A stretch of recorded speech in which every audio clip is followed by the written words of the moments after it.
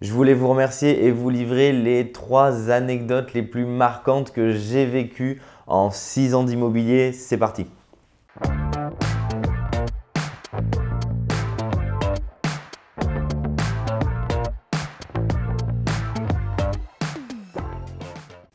Bonjour à tous, je m'appelle Mickaël Zonta et je voudrais aujourd'hui vous confier mes trois anecdotes les plus marquantes dans l'immobilier. Euh, franchement, c'est souvent dans des situations, comme, comme, je vous le dis, anecdotiques où on va apprendre beaucoup. Et c'est ça que je voulais partager aujourd'hui avec vous. Ça fait 6 ans, 7 ans euh, que je suis dans l'immobilier et je voudrais au travers de trois anecdotes vous donner ce que j'ai retiré euh, de choses qui m'ont permis vraiment de, grandir professionnellement et d'apprendre énormément. N'hésitez pas à mettre vous aussi en commentaire vos anecdotes marquantes avec votre conseil qui vous a permis aussi vous sur une anecdote bah, d'apprendre énormément. La première anecdote que je voulais vous délivrer, c'est quand j'ai acheté mon premier bien euh, immobilier. C'était euh, un bien qui avait trois unités d'habitation, trois lots qui avaient été réunis. Euh, et du coup, il était, je m'en souviens très très bien, le prix boutique, le prix affiché, c'était 300 000 euros. C'était très intéressant. alors quand on regarde par rapport au prix du marché aujourd'hui, effectivement le marché a fait un bond, donc c'est encore beaucoup plus intéressant et largement maintenant. Euh, et du coup, j'étais prêt en allant visiter à l'acheter à ce prix-là parce que c'était ultra intéressant. Du coup, je le visite, euh, j'échange avec la, personne et en fait, de façon non consciente, mais j'en ai tiré un enseignement que j'enseigne maintenant dans les séminaires quand je fais des séminaires et que je parle et que je focalise uniquement sur la négociation, c'est que je ne lui dis pas de prix. J'aurais pu arriver lui dire bah ok c'est bon pour moi 300 000 euros. Et donc dans l'échange, je lui dis bah à combien est-ce qu'il faut euh, que je fasse l'offre pour, euh, pour remporter.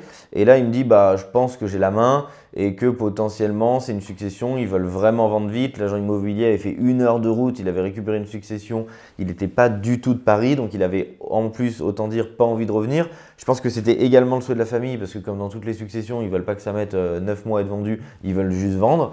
Et donc il me dit, bah voilà, la personne qui a hérité est prête globalement à négocier, je pense qu'aux alentours des 270, 280 000, ça part dans ma tête à ce moment-là, c'est le 14 juillet à l'intérieur. Globalement, je me dis, mais, mais c'est déjà une super affaire. Et là, il m'annonce qu'il y, y, a une marge entre 20 et 30 000 euros de négociation. J'aurais très bien pu, de façon euh, non consciente, dire, bon, bah ok, c'est bon pour moi à 300 000 faire une offre.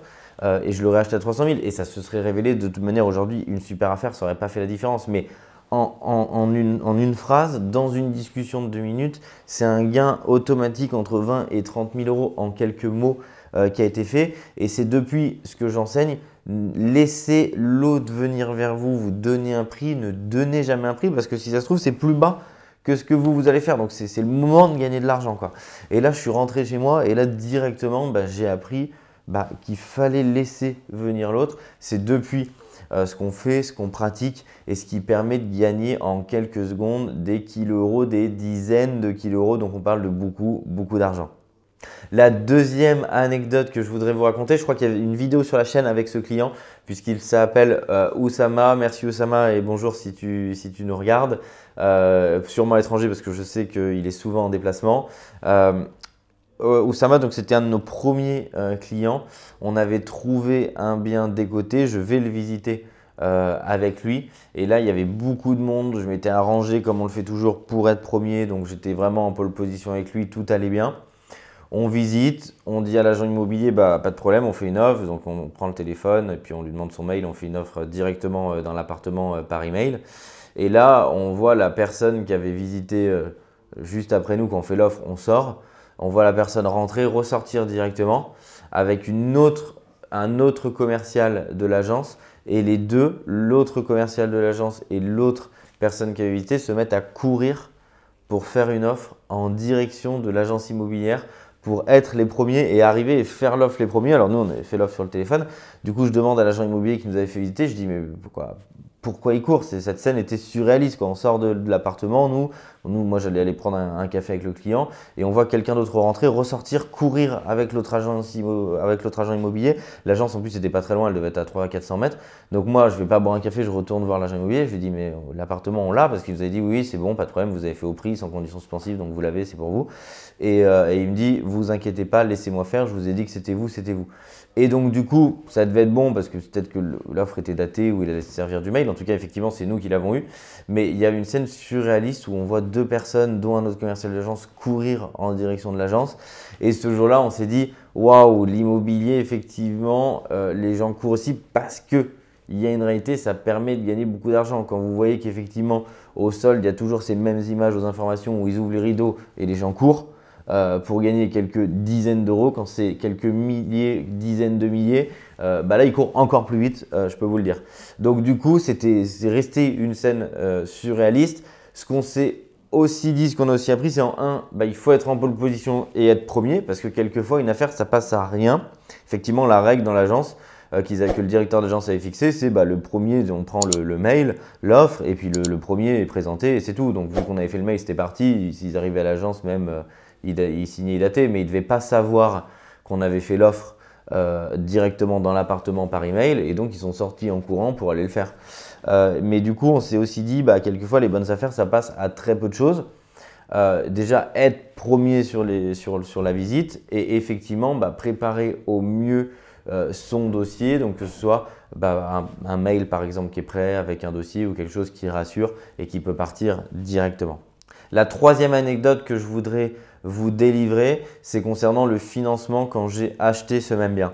Si vous suivez la chaîne, vous le savez, j'avais fait plus de 20-25 agences bancaires différentes où j'avais obtenu que des noms pour faire financer cette première opération. Euh, au final, j'ai poussé, bah, j'aurais continué à pousser des portes tout jusqu'à la fin des conditions suspensives. Euh, et mon dossier avait atterri auprès d'une banque euh, au, CIC dans le nord de la France. Et je m'en souviendrai toujours puisque j'étais en train de faire un, déménagement pour un copain un week-end. Le téléphone sonne, j'avais jamais rencontré cette personne. Et elle me dit, bah voilà, votre dossier est arrivé sur mon bureau d'un banquier que, que, je connais bien, qui depuis faisait, qui était depuis le banquier entreprise de, la société que je gère euh, qui finançait pas du perso. Il a dit non, mais je vais l'envoyer à quelqu'un que je connais qui finance là-dessus du perso. J'avais jamais connu euh, cette dame et cette personne. Et elle m'appelle, on discute du projet un quart d'heure, 20 minutes. Et je lui ai dit tout simplement la vérité. Je lui ai dit, bah écoutez, oui, je suis jeune. oui, c'est une bonne affaire. Oui, j'ai pas d'endettement. Oui, la société n'a pas beaucoup d'historique, mais c'est mon métier, je sais ce que je fais. Et je lui ai dit de façon un peu désespérée, parce que quand vous êtes au 20 ou 25e nom, malheureusement pour ceux qu'on connu, bah, vous savez que vous êtes un petit peu quand même désespéré. Et du coup, je lui ai dit, écoutez, je cherche pas un taux, je ne cherche pas à vous faire travailler pour rien, je cherche juste quelqu'un qui me fasse confiance, alors que j'ai 24 ans, je crois à l'époque, ou 25 ans, et je lui dis, euh, et sur une opération rentable qui est absolument pas risquée, où je connais les tenants euh, et les aboutissants. Et en 20 minutes au téléphone, elle me dit euh, Ok, c'est bon pour moi, je le fais au feeling, le dossier il est, il est très propre, j'ai aussi toujours fonctionné au feeling, c'est bon. Et là, je dis, mais c'est bon, c'est bon. Et elle me dit, si ça fait 25 ans que je fais ça, si je vous dis oui, c'est oui. Et là, elle m'a scotché, ça m'a aussi donné une confiance énorme dans un partenaire financier. Ça m'a aussi fait énormément plaisir de trouver quelqu'un qui peut vous accorder sa confiance. Et du coup, ce que j'en ai retiré, c'est faut pousser le maximum de portes. Au bout d'un moment, il y a un oui où vous fidélisez et vous trouvez un partenaire. Si jamais elle tombe sur cette vidéo, je la remercie puisqu'elle m'a fait confiance vraiment euh, pendant longtemps dans mes acquisitions avec une réactivité euh, hors norme et hors compétition. Donc un grand merci. Poussez les portes, c'est mon conseil, jusqu'à que vous obteniez euh, un oui parce que c'est possible et j'en suis la preuve là-dessus où ça a été très compliqué également pour moi au départ. Je vous invite à mettre en commentaire vous aussi, s'il vous plaît, votre anecdote pour aider l'entièreté de la communauté euh, et de la chaîne. Un grand merci et je vous dis à très bientôt pour d'autres conseils et d'autres anecdotes. Ciao